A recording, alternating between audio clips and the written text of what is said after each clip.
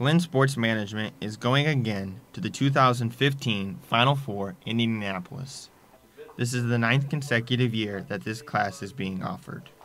This class is online with a trip to the Final Four.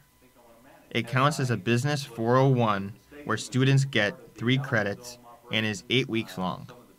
This trip is open to all majors at Lynn and will count as an upper level dialogue. Freshman, when I decided to go on the trip just to get more experience, it was a fun trip to go on.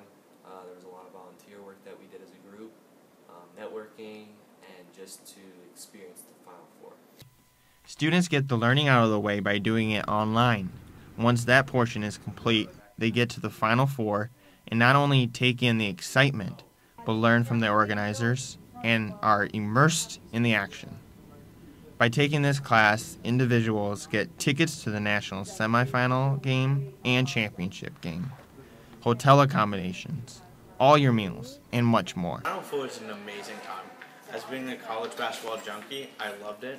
And you don't have to be a college basketball junkie to love the event. It's a lot of fun, a lot of networking, and lots of great opportunities. Lynn really allows students to immerse themselves in sporting events like the Final Four. By going on this trip, students get a lot of hands on teaching. This is also open to students who do not go to Lynn because it's an online course. Students who go on these trips enjoy the experience and love college basketball.